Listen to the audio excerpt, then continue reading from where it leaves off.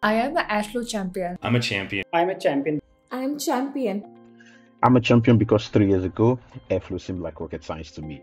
But with the help of the community, I was able to scale through this. Three years later, I've helped two companies set up Airflow in production, and I've also trained over 500 persons in Africa on the use of Apache Airflow. And I'm glad to see what the future holds. Because data holds answers, and Airflow empowers us to unlock them granting us the opportunity to solve the world's most challenging problems. Because I want users to have the best developer experience with Airflow and to avoid all hurdles and mistakes that I have learned the hard way, thereby making Airflow the best tool out there in the data ecosystem because I believe that sharing knowledge is the key to solving complex problems. Because when I first started learning Apache Airflow, I made a lot of mistakes, which led to a lot of lessons that I take back to my clients in the community.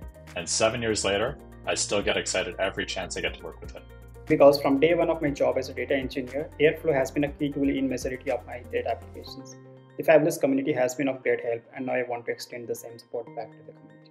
Because Airflow enables my pipelines to deliver high quality data to our AI models, and I want to help others in the community have the same success. Together, we can elevate each other in the world of data orchestration.